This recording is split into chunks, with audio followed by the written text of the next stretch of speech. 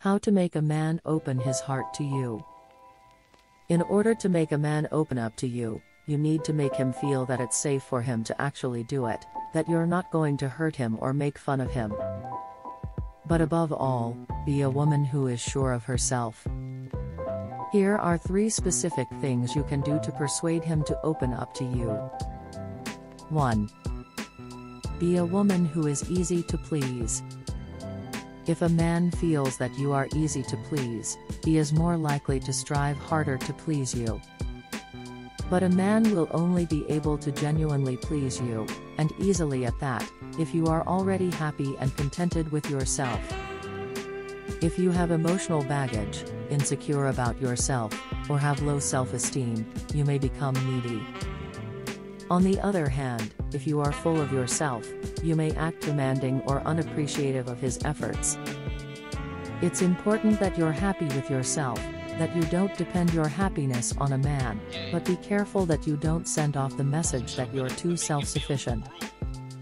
This can mean to him that you don't want him to protect and cherish you. 2. Do not be critical of his efforts. In relation to being a woman who is easily pleased, you are also a woman who is not critical of his endeavors.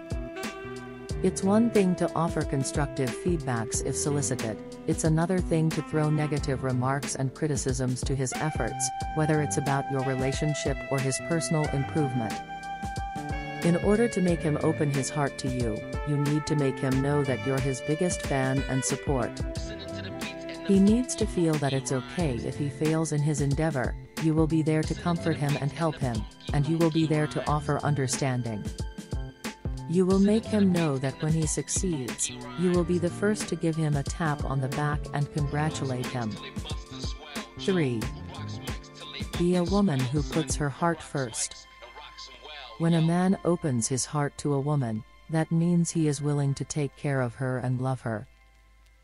But unless the woman loves herself and puts her heart first, no man will truly open his heart to her. How do you put your heart first? How do you love yourself more than this relationship? Loving yourself before any man does not mean being selfish. It means valuing yourself above any man. You don't sacrifice your own happiness just to make him happy, you don't give anything and everything to him even if it hurts you just so he is happy.